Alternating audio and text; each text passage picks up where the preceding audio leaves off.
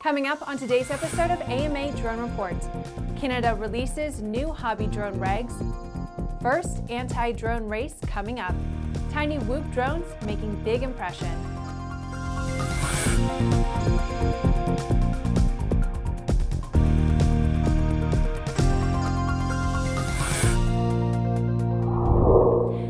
I'm Bree Cross. Welcome to Airborne's AMA Drone Report on Aero TV, a weekly news program covering the recreational drone world in partnership with the Academy of Model Aeronautics, one of the oldest and most respected aviation organizations in the world, with more than 195,000 members and 2,400 clubs across the country.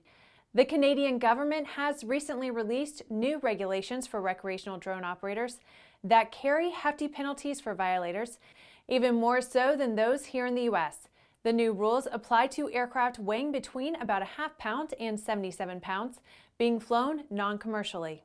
Under the new rules, recreational drones may not be flown higher than 90 meters, about 295 feet above the ground, closer than 75 meters, about 245 feet from buildings, vehicles, vessels, animals, people, and crowds, and closer than 9 kilometers, about 5.6 miles, from the center of any aerodrome, defined as anywhere that aircraft take off and land. The rules also prohibit flight in controlled or restricted airspace within about 5.6 miles of a forest fire or anywhere where the aircraft could interfere with police or first responders. Recreational drones must not be flown at night or in clouds and must be kept in sight at all times. The operator's name, address, and telephone number must be clearly marked on the aircraft. Fines can be as high as about 2,250 US dollars. Transport Canada has also established a website where citizens can report unsafe drone use.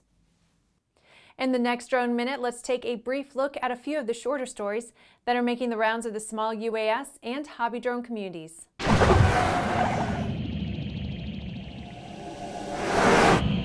Another day, another Kickstarter drone project, but this one has raised over 1 million bucks. Selfly, a very small, autonomous, detachable flying camera, has reportedly been, quote, built from scratch to perform as a camera system operating in full cooperation with your phone, standing or hovering autonomously anywhere.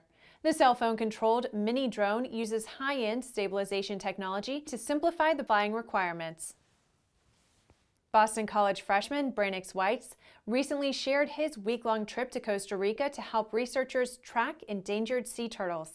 His company, Skylink Productions, partnered with the nonprofit group Seeds of Change and used an array of drones to help researchers study nesting turtles on a remote peninsula of the Central American country.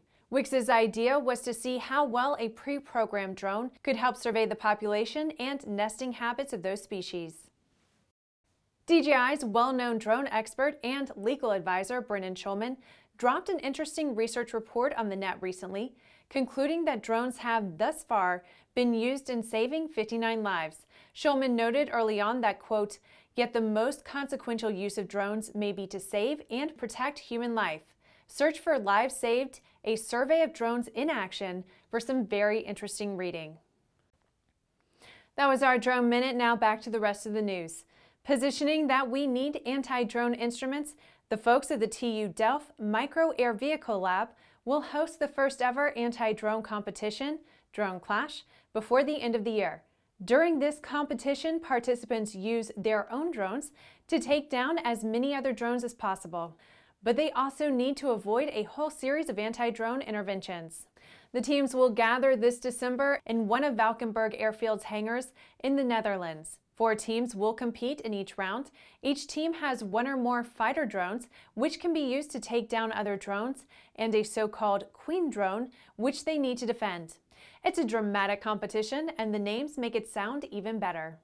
The teams will start in the Battle First arena, where they have to start trying to take each other down. The surviving drones then fly through the hallway of doom, death, and destruction to be attacked by all kinds of anti-drone instruments.